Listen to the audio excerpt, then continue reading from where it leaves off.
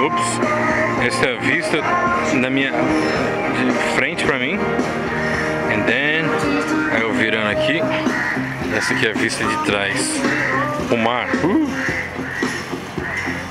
E hoje é domingo. Tô de folga. Falou.